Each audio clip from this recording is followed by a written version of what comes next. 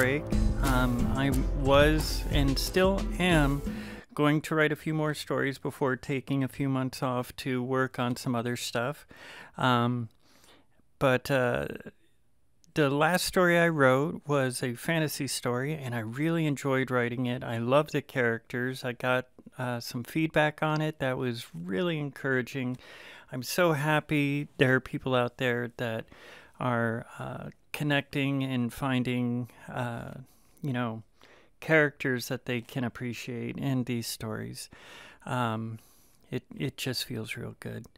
Uh, today's story, I was tasked to do horror, and I didn't quite reach like total horror, but I I kind of reached that. Uh, you know, like is it magic? Is it monsters? Kind of thing. Um, and it's more about one person and how they interact with the world, how they deal with, uh, you know, a past relationship, how they're trying to work through all of that with, you know, their their art in a very similar way to me.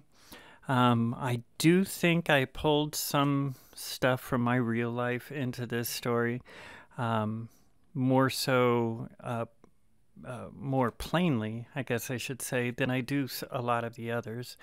Um, but none of the characters are representative of anybody I specifically know, and none of these situations are supposed to represent or reflect any specific, uh, you know, thing that's happened in my life.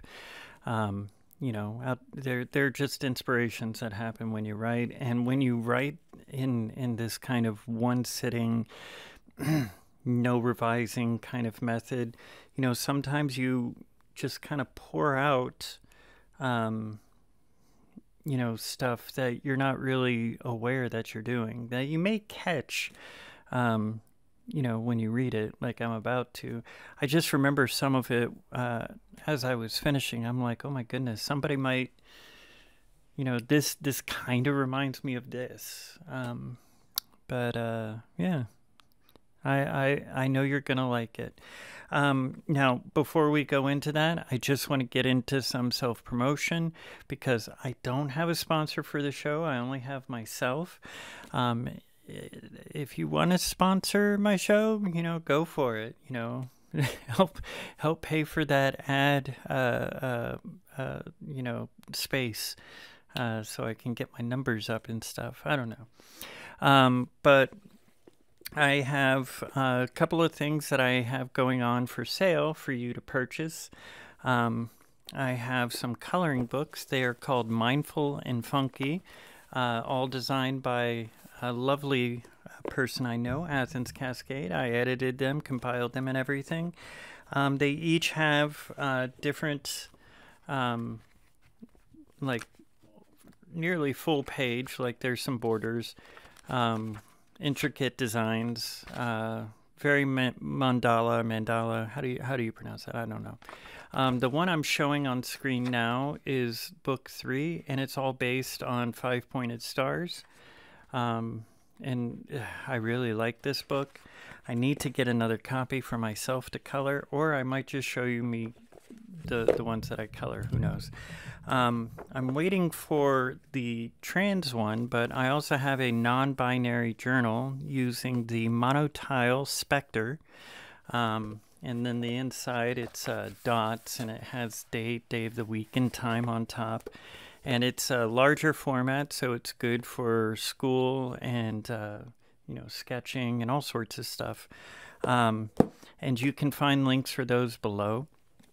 And I also have uh, online stores uh, designed by humans, uh, Redbubble and Zazzle. They all offer um, uh, different types of products. They, of course, they all offer T-shirts, um, but the the the types of T-shirts are different in each, uh, uh, store and some people prefer to shop from one or the other. So, if like you're looking for a T-shirt, um, I think Redbubble has more of them. Redbubble has all of the show cards for first drafts that glow, all the ones that were suitable for that. Um, Zazzle has uh, things like speakers and um, uh, uh, like glass acrylic or something uh, coasters, which I think is really cool. Um, also car mats. I'm just like sure.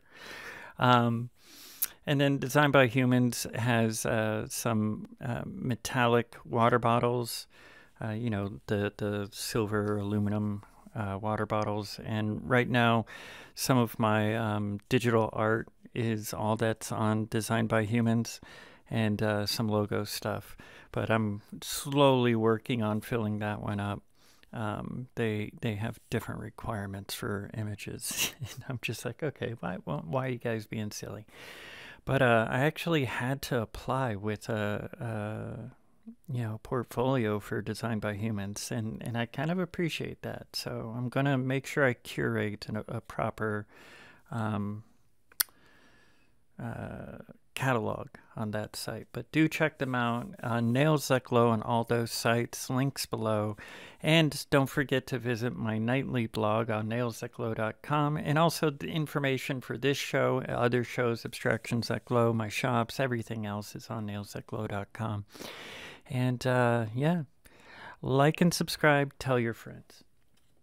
So we're going to go ahead and get into the story right now. Um, like I said, this one uh, started out as horror, and I do want to warn you um, there are some challenging subjects in this story.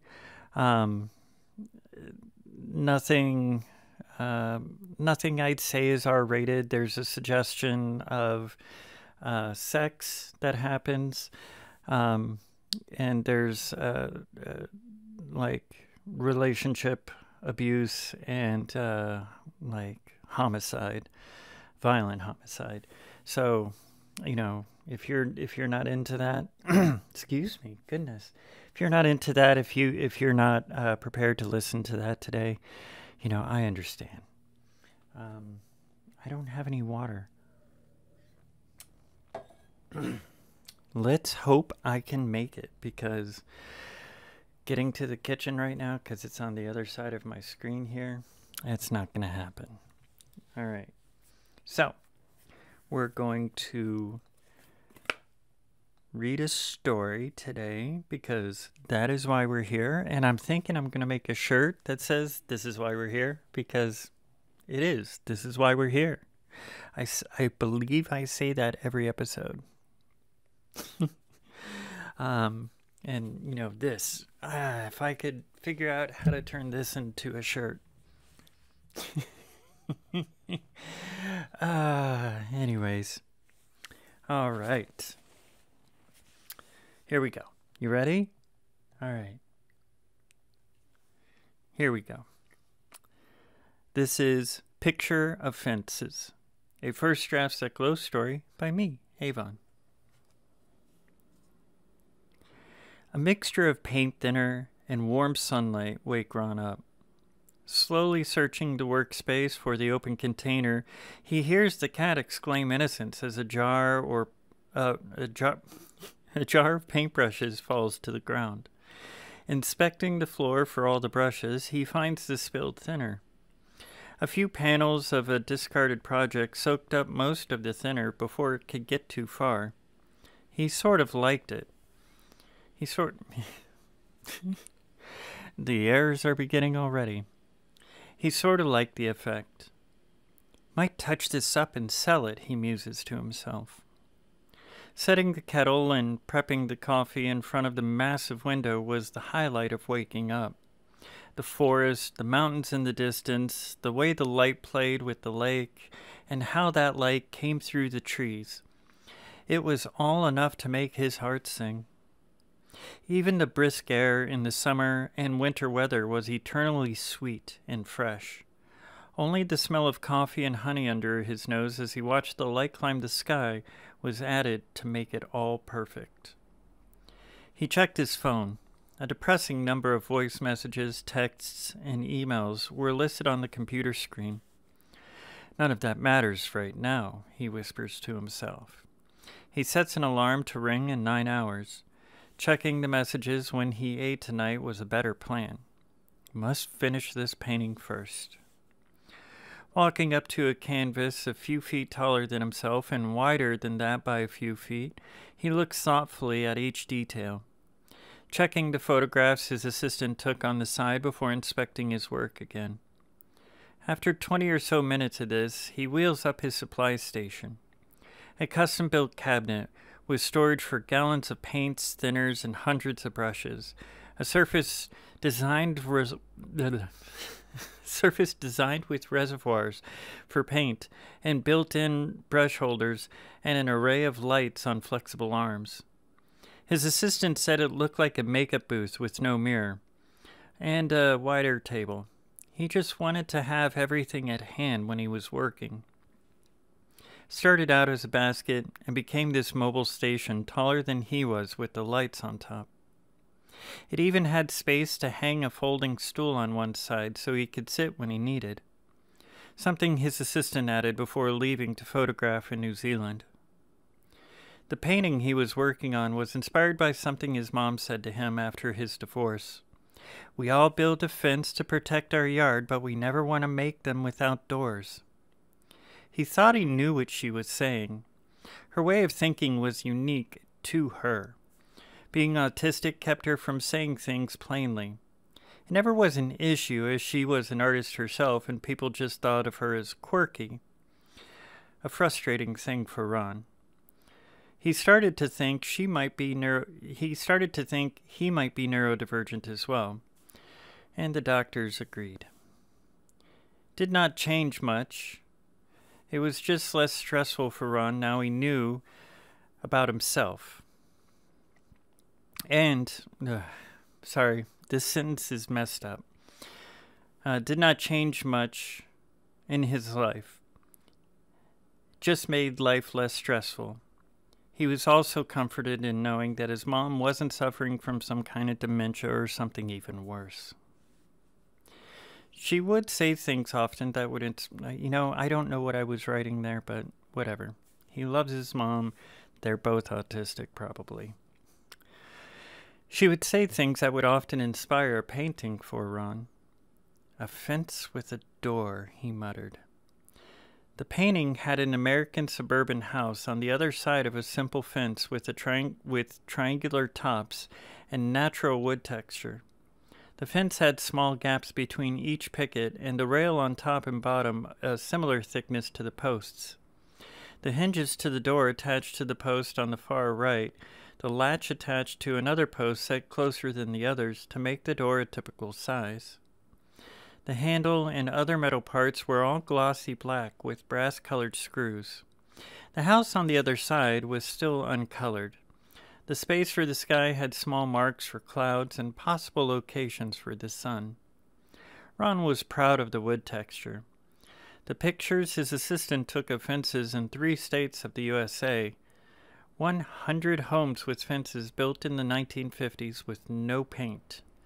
Many had been stained, but it was the grain and texture Ron needed. The subtle ways the light would catch the minor imperfections and how different wood would age. How drastically the look of the wood changed from morning to evening.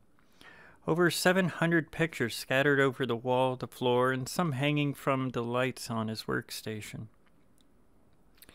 Two months working on hand painting the wood texture on each picket giving each one its own personality. The posts and the rails having entire, entirely unique properties to the rest of the fence, and the door being made to look warmer. At least he thought so. He checked the paint with his fingers, lightly at first, then with more force. Everything was dry enough, he thought. He was going to do something his art contemporaries and instructors would have rolled their eyes and been very critical of. He used painter's tape to leave only the small gaps between each pickets exposed. The area of the house above the fence and the sky were all left exposed. Ron was happy with the precise application. The ivory white paper covering the fence took it out of his vision enough to focus on the house and the sky. Nearly a clean canvas. In essence, for him to start painting. After the sun started falling behind the horizon, Ron spooned soup into his mouth without looking. The screen of his tablet was filled with messages dozens of emails from people wanting to commission him and galleries wanting to have access to 10 or more of his paintings. Even a few museums wished to add him to the modern collections as part of their pride displays. Why not ask some of the women or trans painters? He says to nobody. He replies to a few of the museums suggesting they ask some spe specific painters and sculptors, and if they were displayed, he would be happy to offer a few works and an endorsement. Stupid politics. He laughs into his spoon, spraying soup onto the table. The transcriptions of his voice messages were never perfect when your friends had accents thicker than hot glue. I want you to call ma hin u kunt. His friend Drew learned enough English after growing up speaking French and Russian his entire life. How he said some words made the AI transcribe some interesting things. He scribbled down a few notes to call and write some messages that were more thoughtful when he was done painting. The e-paper would send the notes to his assistant and all of it would be added to the calendar. Ron loved how simple things were without needing someone keeping track of things right next to him. He needed to be alone to work. That night, Ron slept on the balcony. The stars were present, the air was cool, and sweet. He wanted to he he wanted he wanted This is why we're here. I didn't put a few words in this next sentence. Kind of like the sentences with his mom and autism. I don't know. He wanted to fall asleep to the sound of trees and owls. Yeah. the lush yoga mat and microfiber blankets offering enough physical comfort as he laid down. A few last bites of an apple before pitching it over to the earth below. Then he slept. Ron loved his dreams. They were often how he imagined his paintings. He would imagine details and colors that might make for a good canvas. Sometimes it did not work. His mind was always trying out things. The things he could remember when he woke, he often tried. Tonight, he dreamt of the fence, the house, the sky of his current work. He was standing before the fence, looking at the house that was filled with color and dimension. He couldn't quite make out the color. It eluded him each time he it eluded him each time his focus went to it through the small gaps in the pickets. The sky was a mix of baby blue and pale icy blue. There were heavy feeling cotton clouds filled with filled with the light of the sun shining from somewhere behind the thickest part of the largest clouds. He decided to sit and sip on hot tea while he took in the view. The beach chair behind him ready with the teapot and a cup on a really small stone table. All of it just the right position to look at the fence as if it were his painting. He takes a lemon slice from a small saucer laying on top of the tea in his mug before taking a sip. The vibrant mix of lemon with the gentle flavor of the black tea made him hum in satisfaction. The sun was moving through the sky, showing different textures in the fence, and in the corner of his vision on the house behind the fence. Each time his focus went to the house, it became impossible to see properly. He wanted to see the house. He wanted to get a good look at it. He knew it was in his mind somewhere. What it was supposed to look like. The color, the texture. He knew it was there. What he was supposed to do, what he was supposed to make it look like. He finishes the tea he is sipping on in a swig, clears his throat, throwing his legs to either side of the beach chair. Before standing, wait, that sentence was awkward. throwing his legs to either side of the beach chair before standing. He swaggers his way to the door on the fence, appreciates the latch and the handle, the way the brass seemed to glow, the glossy blackness of the metal. He reaches out to put his thumb on the switch as he wraps his fingers around the handle and starts to gently pull. Nothing happens. The latch button moves, but there's no movement in the door. He tries a few more times before taking a step back. He looks to the chair he was sitting in, still there, welcoming him back with its silent comfort. The rest of the fence serene and perfect, the landscape just past it still unable to be focused on. Moving to the stone moving the stone table to the fence, he gets on top of it to look over the fence. The top of the fence is a level where his head stops moving. A loud knock sound, as if his head were wood, rings through his ears. Reaching up, he feels nothing.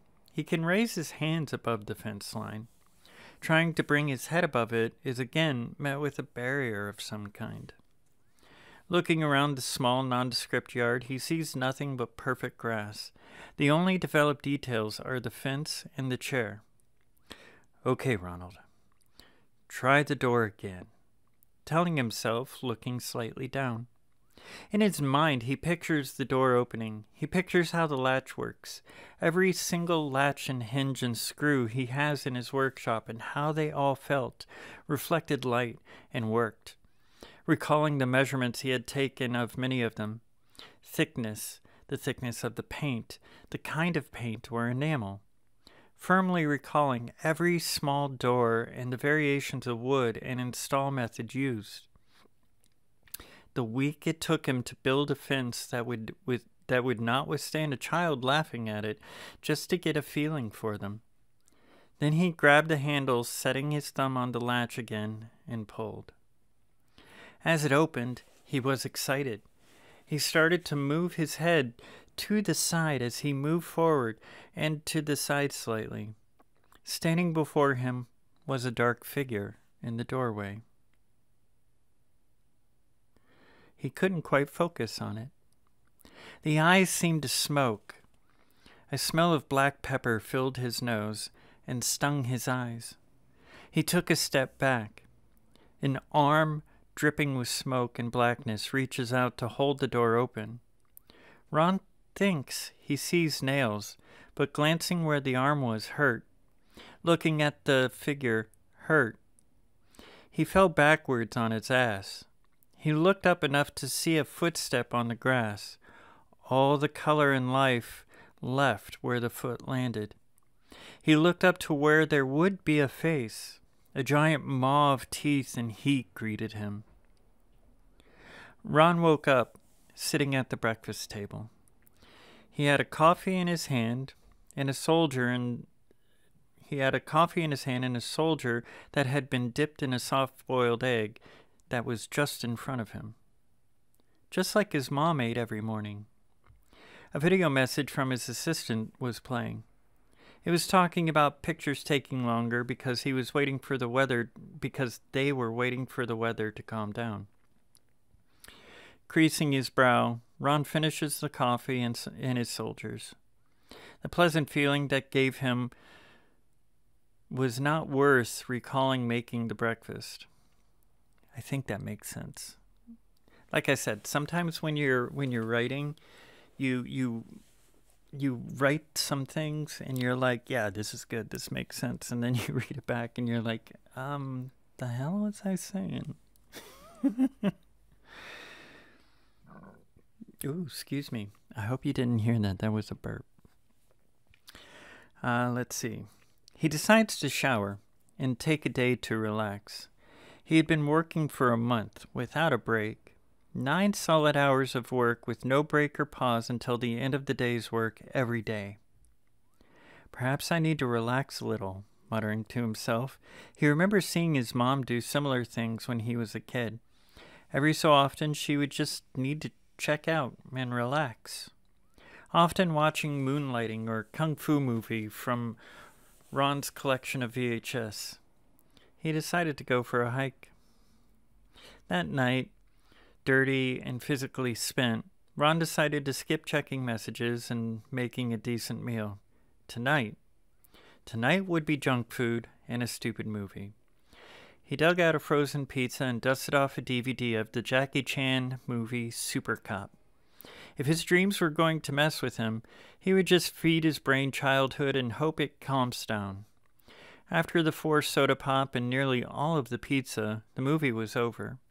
That familiar feeling of pores in his face demanding he never eat like this again got him in the shower.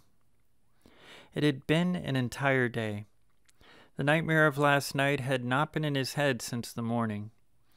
Now it's all he could think about. The steam in the shower, the slick shine of the tiles, everything started him thinking of the dream. The texture of the sky and the wood, the smell of the grass he was sure was part of it filled his mind. He closed his eyes, lifted his head to look up at the rain styled shower head. A soft ding outside of the shower made him think of the ever elusive cat. Turning his turning his head to the shower door panel, he sees a human fig- figure wreathed in shadows and smoke with prominent eyes. He jumps in place, letting out a yelp. He blinks hard, twice. The figure evaporates. The large Maine Coon cat sitting in the doorframe, looking at the spot the shadow figure had been standing in, letting out a meek meow before leaving. Ron turns off the shower, slowly drying off with the towel hanging inside. Patting his face dry before wrapping his waist, he slowly opens the door. The space is empty. No footprints in the dampness on the floor. No evidence of a person standing on the plush rug just outside of the shower. Nothing in a place it should not be. Once in the kitchen with his tablet and cell phone, Ron sits the tablet up, opening the video call app, tapping on his assistant's picture. Hey, Ron. Has to be 11 at night for you. What's wrong? The kind face smiles. Hey, Lang. I need you to schedule a mental health appointment for me and a general physical. Nodding, Lang grabs a device and a stylus, taking notes. Should I call your mom or your agent? No. I think I may have just pushed myself a bit or coming down with the flu or one of the new COVID strains. I take it you went out looking for a fella? Lang smirks. Yeah, I went out two weekends ago to Toronto. Had company one night. Ron sighs, grabbing his seltzer water from the cooler below the table. Before you ask, I did make sure we were safe. Lang smiles as they write. Your mom would be happy to hear that. I know. So when she asks, you can make sure she doesn't panic. I'm sure it's just nothing. Anything I should add in the notes to the doctors? Tell them my morning skip happened again. I was eating breakfast without recalling making it. Ron slams the rest of the seltzer. Lang looks into the camera. Since you asked me to do this, I'm going to ask if you've been drinking or doing any drugs. No, I'm still sober. Divorce was enough of a wake up call for me. I was tempted to let the boys at the bar buy me drinks, but I made them buy me expensive mocktails instead. Smiling, Lang writes a few more lines. Okay, Ron. I'll have this in tonight. I'm still in New Zealand, so if you need me on site, we'll take a bit. About a day. Anything else? Nah, thanks, Lang. I'm excited to see what pictures you can get. Can you go through my emails and voice messages for the next few days? Sure, Ron. Take care of yourself. I'll call if anything important comes up. The screen goes dark, takes the light from most of the room. The cooler below the table casting a pale light onto the floor. Small LED dots softly softly glowing along the baseboards, making it easy to wander the house without issue. Ron yawns largely as he imagines a giant bug flying into his mouth. He laughs to himself as he walks up the stairs, throwing the towel into the bathroom as he passes it. Landing face down on the bed, he drifts off to sleep before getting his entire body onto the mattress. The familiar scene fades in before Ron. The fence, the impossible to focus on house beyond it. He tries first to pull the stone table to the fence and meets the same limits as before. His hands can rise above, but not his head. He tries to look beyond the fence, one eye at a time. The shifting texture and color of the house are impossible to pin down. Even to decide what colors and textures that are shifting is impossible to decipher. Moving to the door of the fence by touching each picket, tapping the rail near his head with his hand, the rail near his feet with his toes. He pets the handle. He stares at the latch. He imagines what it might feel like to lick it, like he might have done when he was a kid. What if it were made of candy, like a toffee or some kind of candy cane? What if the fence was built into a wall and that's why he was unable to open it? What if the house he saw on the other side was a projection on a translucent screen that deformed the image and it was moving in an erratic pattern, causing it to blur? He pictured the other side, the space between the house and the fence, the grass on the ground on the other side of the fence door. He imagined the house had exposed brick with wooden shutters on the windows. He imagined the sky on the other side being a crystal blue like you saw in the movies from the 60s. He takes a deep breath as he wraps his head around the handle and presses the latch with his thumb. He pulls the door. He feels resistance. Like it is a door in a warped condition, making it an ill fit for the frame of the bottom, making it an ill fit for the frame of or the bottom of it too low to move. The uniform resistance begins to feel as if the door itself is unwilling to move. Closing his eyes, taking a deep breath, he pulls the handle, imagining it open. Flying open, Ron falls onto his back. The handle in his hand as he sits up. He finds it difficult to move fast or even much. His head feels thick and heavy. He moves to look at the space where the door to the fence is. An absence of color, depth, and no sense of the space belonging to the rest of the scene begins to overwhelm him. His belly feels warm as his mouth gets that familiar feeling of acid and heat when having drunk too much. His feet and eyes both feel out of his control as he tries to stand, needing to work slowly at it. He notices a throbbing sound, unsure how long it's been there. The sound, like the throbbing and pulsing bass of a club, the boots and pants, boots and pants, boots and pants rhythm underlined with a deeper tone created by an unknown thud. The intensity of it made his chest vibrate. His heart struggled to beat, his lungs finding it hard to hold breath.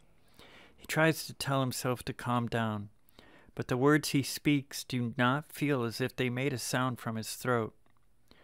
He moves slowly to open the door, the blank space pushing at him. The sense of a great wind with no feeling of a breeze, leaning into the force, began to make him feel like he was in a cartoon. The ridiculous impossibility of dreams starting to come to his mind. Remembering this was a dream, he did not need to worry. This was just a dream. He moved slowly, reaching out to open the door, reaching out to the picket, making up the edge of the door.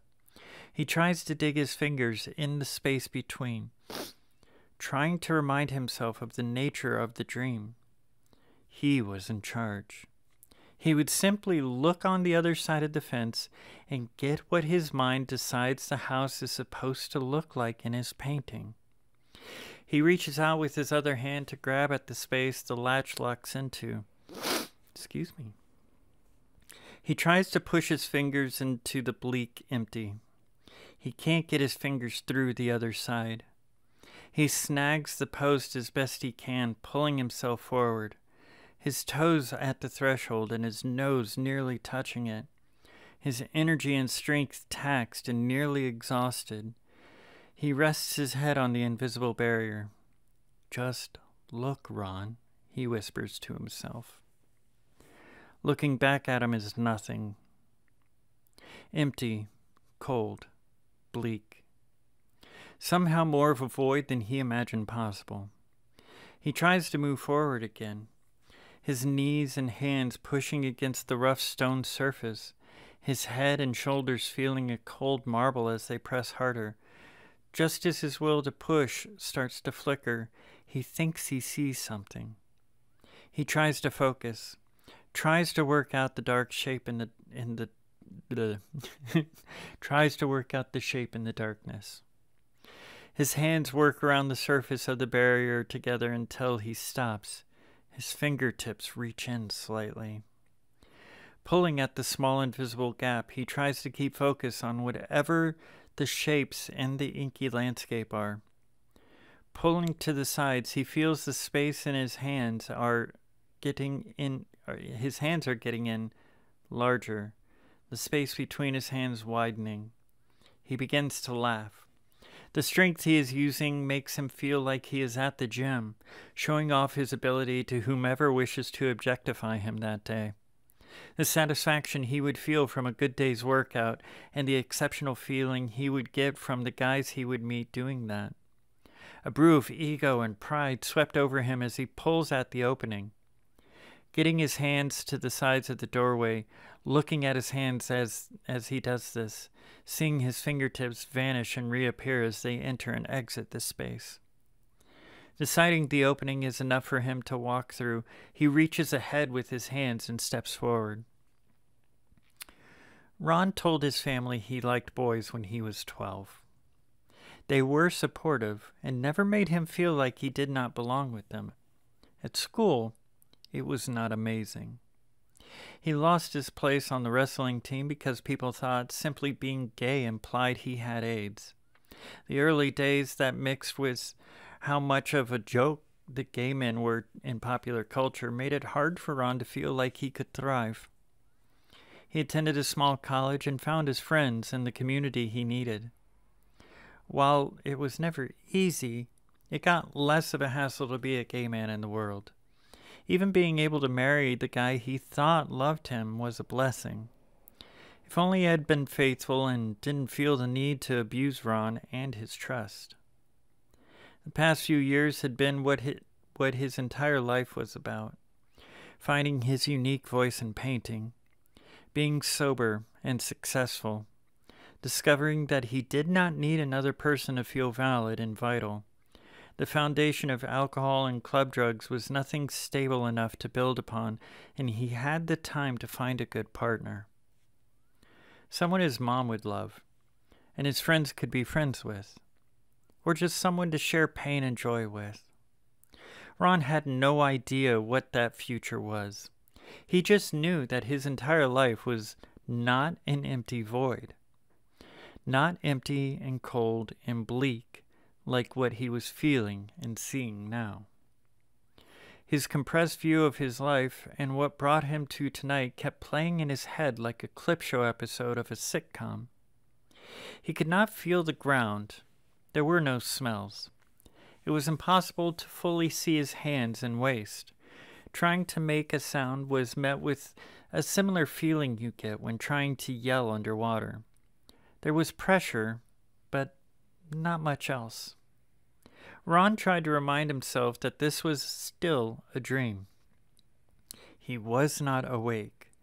This was not a bad trip.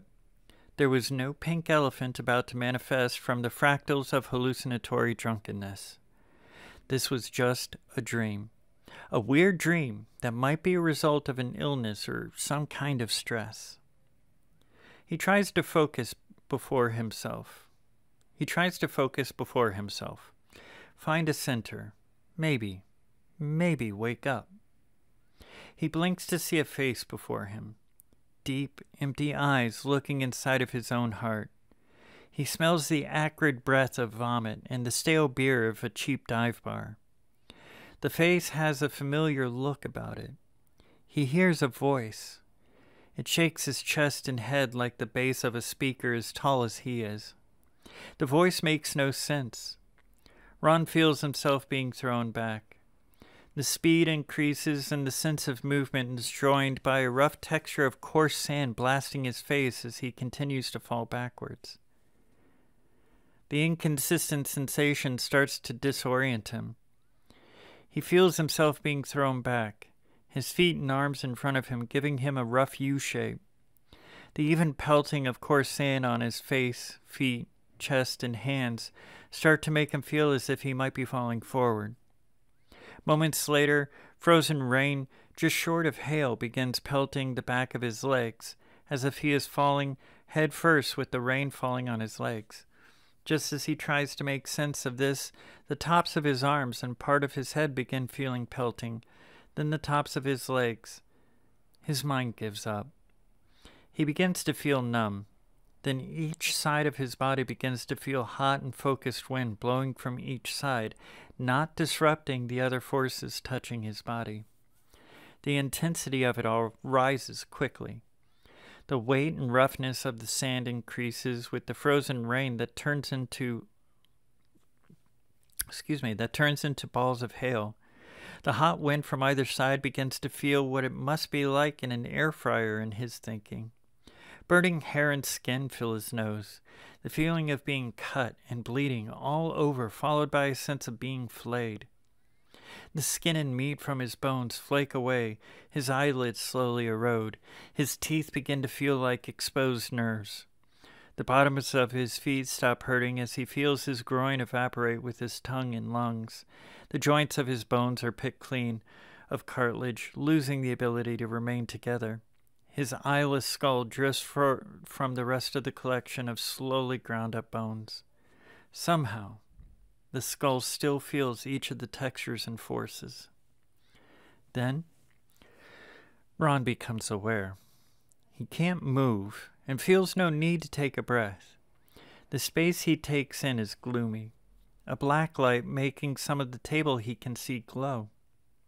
The walls he can make out covered in a bright white in bright white symbols.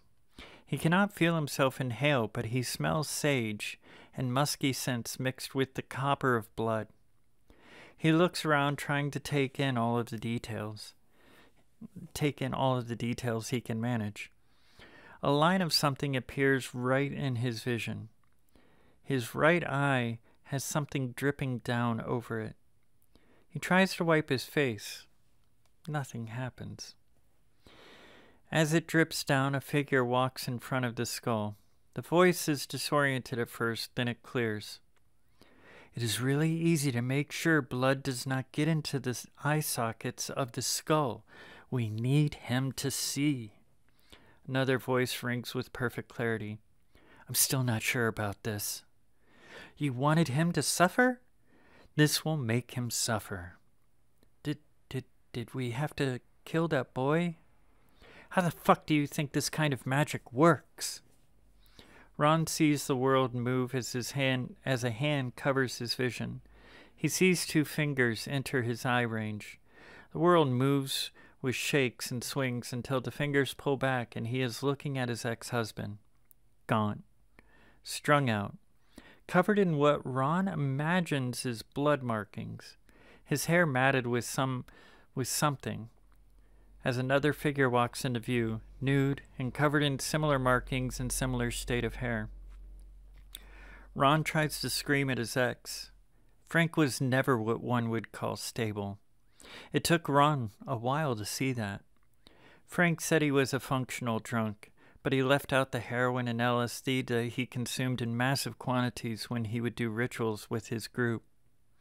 In the courtroom, Frank explained that his religion was an offshoot of the Golden Dawn, and the true demonic worshipping mankind had been doing since they walked from the caves.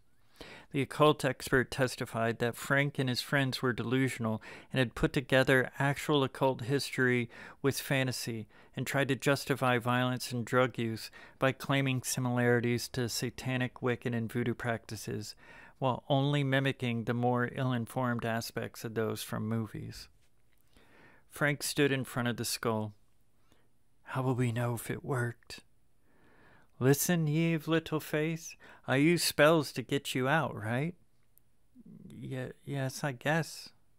You guess? The other figure rushes up next to Frank. You fucking guess? Did I spend a month stalking that boy to make sure he we could use him for this rape for something that would never work? Did I kill that homeless guy for his lungs for kicks? Sitting down, looking into Ron's gaze. No, I just want to get this over with. Fine. We will know he is in the skull when. What is it? Frank looking to the other man. He's in there. The other man sits next to Frank in front of the skull. Hi, Ron. I'm Jake. Ron thinks to himself, Wake up, wake up, wake up. As if Jake and Frank heard him, they both peer closer. We can hear you, Ron, they both say. Jake sits back looking at Frank. Frank situates himself to sit as straight as he can. Okay, Ron, here it is. I want you to kill yourself tonight. Jake's face frowns deeply. You must go into more detail than that. He must know your grievance, then you tell him how he will kill himself. Okay, Frank says. I loved you, Ron. Just because I made a few mistakes, you left me. I would have done anything for you. You didn't need to be afraid of me. Frank stops mouthing words. The world gets dark for Ron slightly.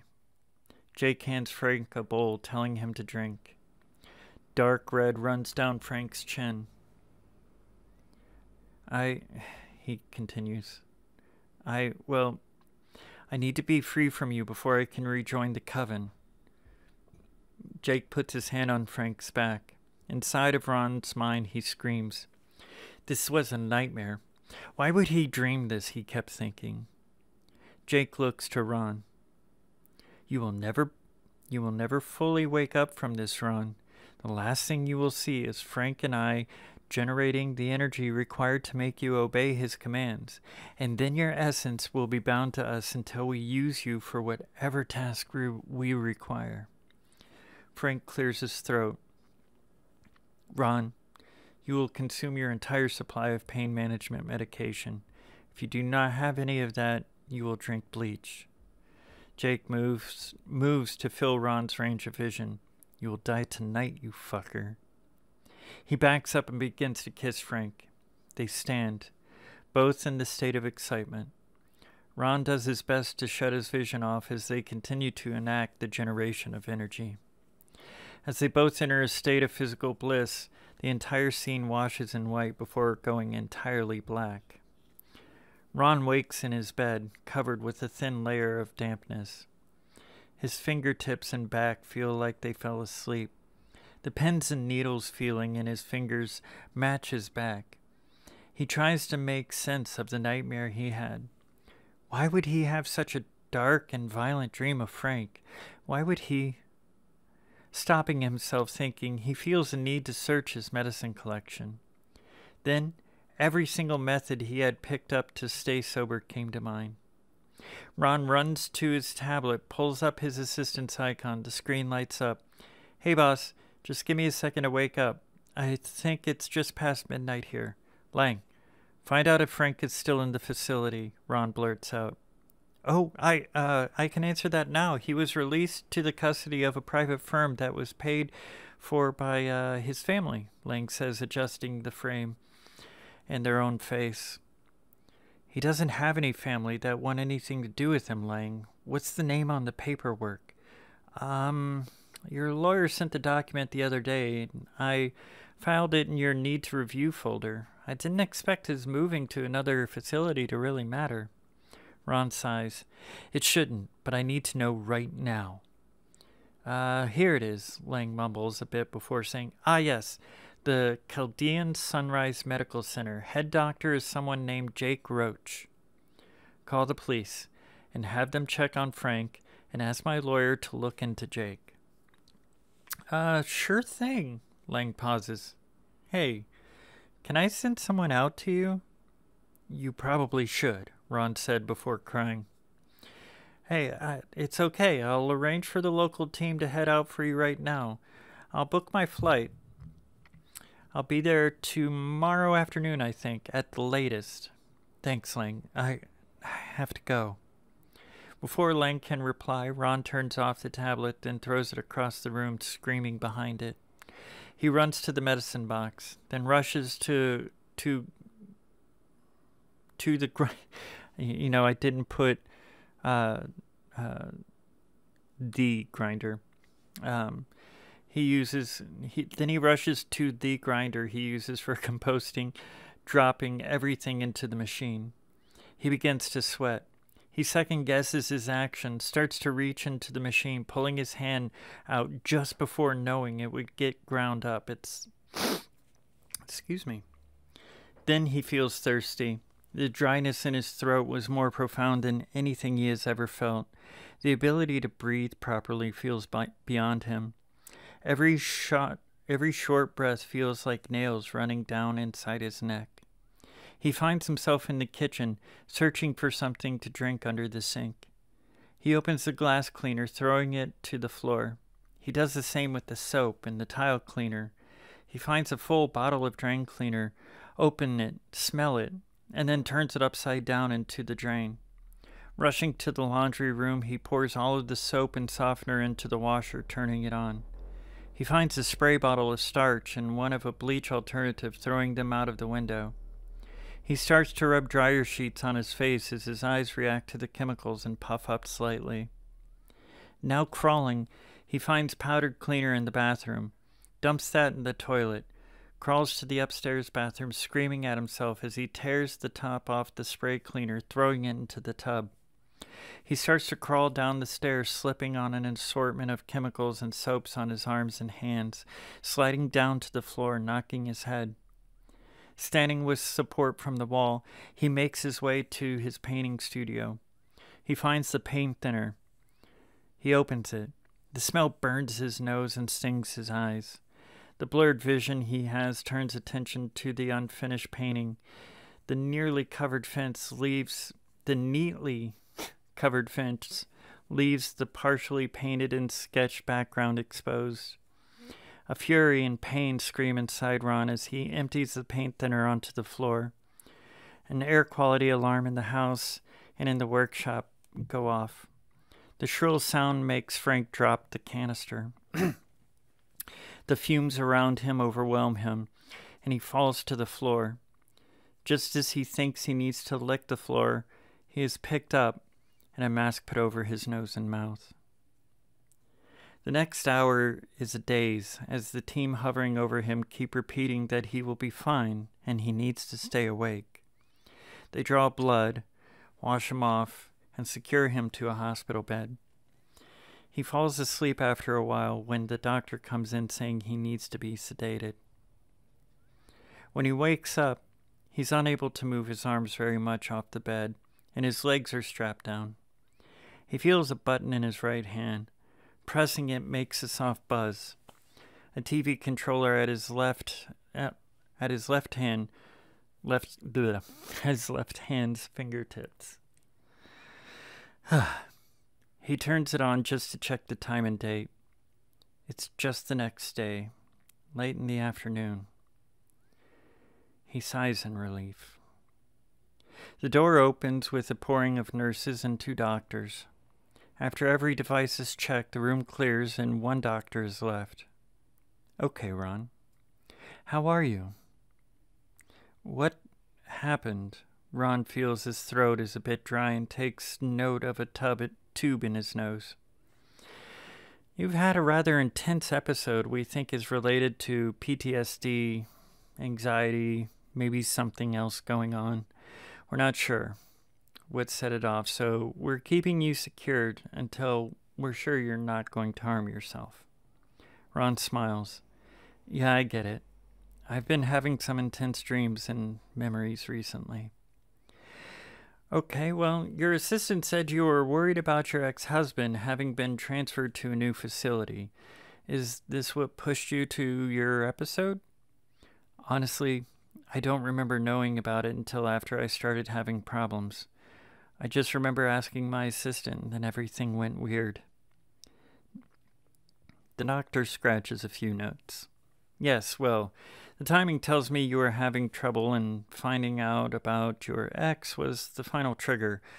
We'll need to observe you overnight, just before we can discharge you.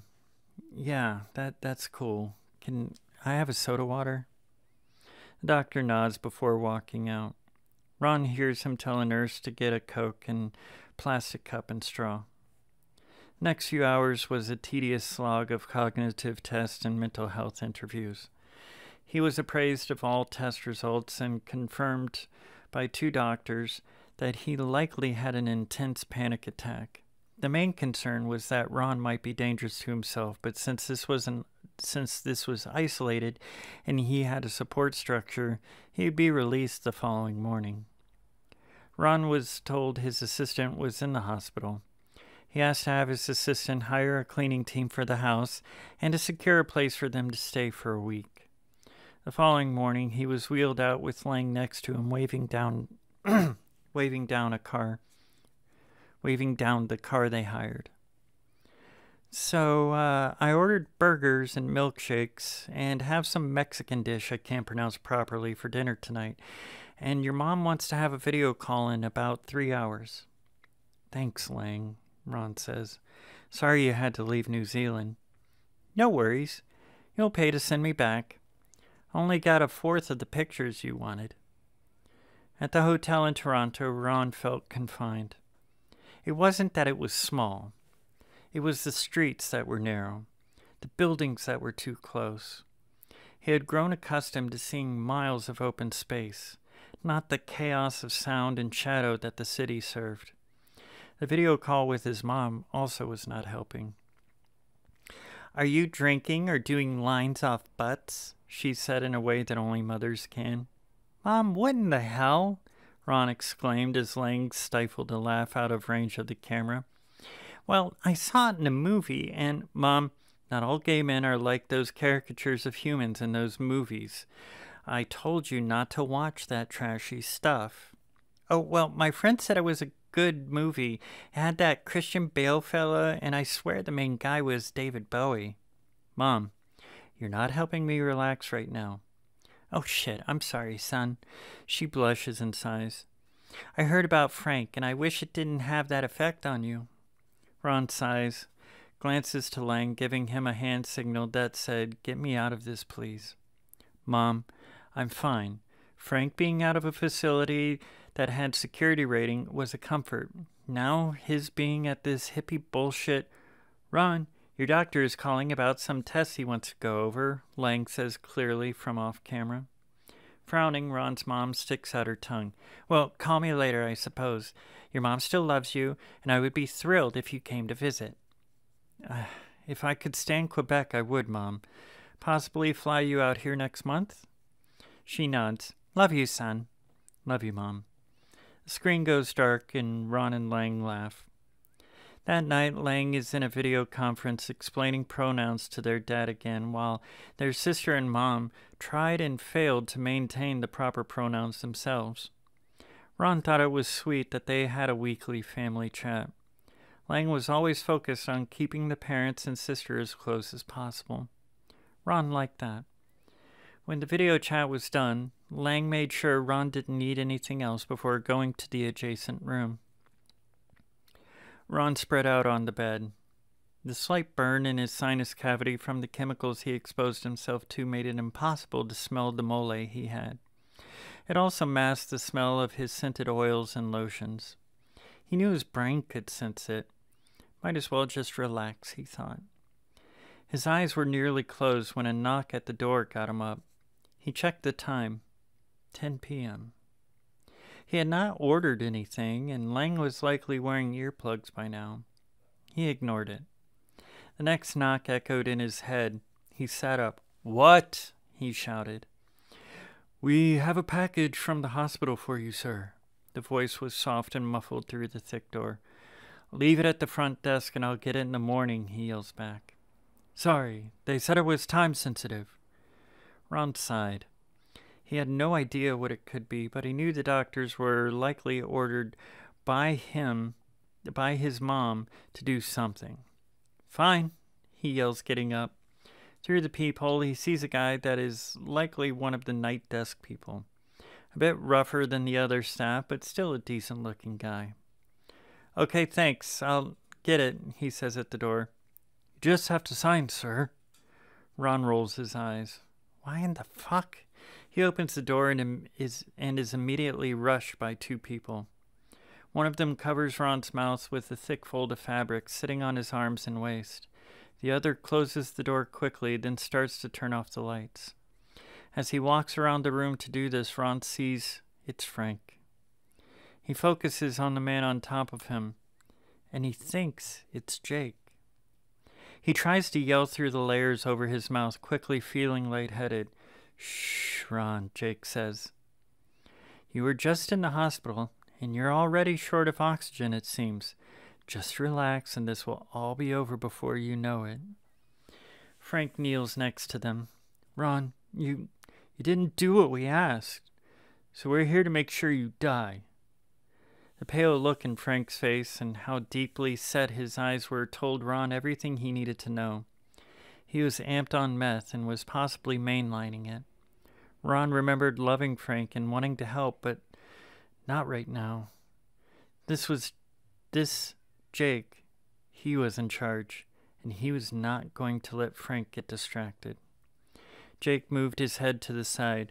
Frank, the pouch inside is. the, the pouch inside is a needle, and that ampule, that special mix we got from the shop. Ron's eyes asked why, and Jake seemed to read his mind.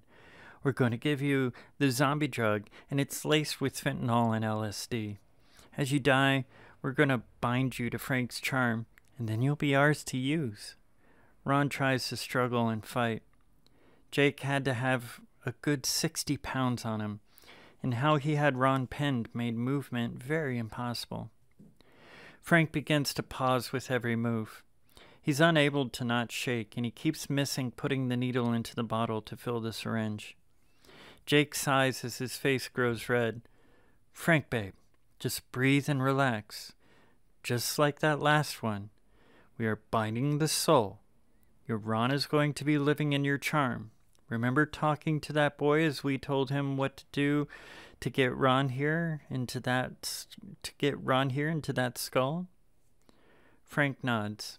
He takes a deep breath, planting the needle in the bottle, then fills the syringe.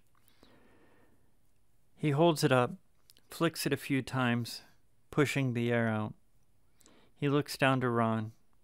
Ron's eyes, now filled with tears, try to express a plea for compassion from Frank. With his free hand, Frank pets Ron's head. I I love you, but you tried to destroy me, so I'll have to bind you to my will. Frank closes his eyes, taking a breath in. He opens his eyes, leans, leans over to aim the needle at Ron's neck. Just as this happens, the connecting door to Lang's room opens with Lang holding his laptop saying, I just got a call from the police to your phone, and Frank jabs the needle forward. Jake howls, raising his hand with the needle sticking inside of it. Frank falling backwards, crying, holding his hands up to his head. Ron rolls over, grabbing his shoes as shoes as the only close thing begins smacking Jake in the face over and over. Lang drops his laptop, tackling Jake off Ron entirely. Jake starts to froth at the mouth, then goes still. Frank rolls up into a ball, chanting nonsense.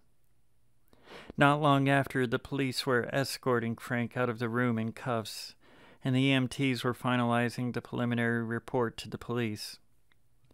Lang was side hugging Ron. The next morning, Ron knew what color the house was and the texture of the walls. He scribbled the notes on a loose sheet of paper, handing it to Lang. Lang looks at the scrap of paper. You sure? Ron nods. That weekend, Lang burns the picture of the fence.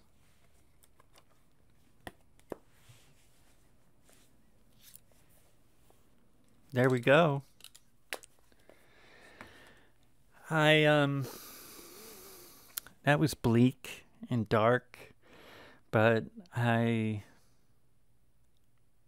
yeah, like I said, I asked what genre I should write, and I was told to write horror, so I was really trying to keep in that vein.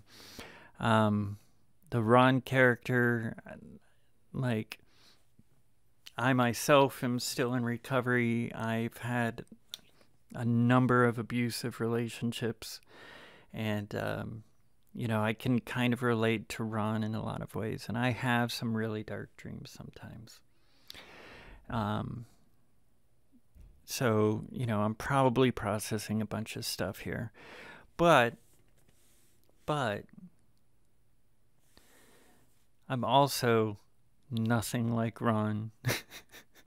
and as far as I know, nobody I've been with is anything like Frank. But, you know, it was a story. And I, I really like it. There were a few parts where I was especially confused what I was actually writing and trying to say. But um, I think the overall like story, uh, the character um, uh, uh, journey that we experienced with Ron, um, I thought it was good, and I hope you enjoyed it. Really, I do. Um, that was Picture Fences, and uh, like and subscribe, and don't forget non-binary specter monotile pattern journal. It's hardcover. Yeah, and look, it's bigger than my head. So you can fit all those notes in there. And each page is dots. There's 200 pages in there.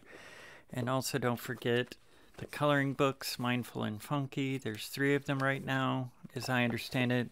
There's a fourth one that we're going to get doing soon and uh, Redbubble Zazzle, designed by humans, all nails that glow. My website, nailsthatglow.com. Also, check out my podcast, Abstractions That Glow. That has been irregular, but I'm going to start doing it on a weekly basis, and I have some guests lined up. So that'll be pretty exciting. Um, I can't really think of anything else, so I'll just say thank you so much for joining me today for First Drafts That Glow. Please come back next week. If you have any suggestions for genre, random words uh, for me to use in uh, a story, you know, put it in the comments below. Be sure to share, you know, tell your friends. And um, don't forget, this is also an audio podcast. And if you're listening to the audio podcast, this is also a video. Uh, First Drafts you can find it pretty much anywhere. And all those links are on my website as well, nailsthatglow.com.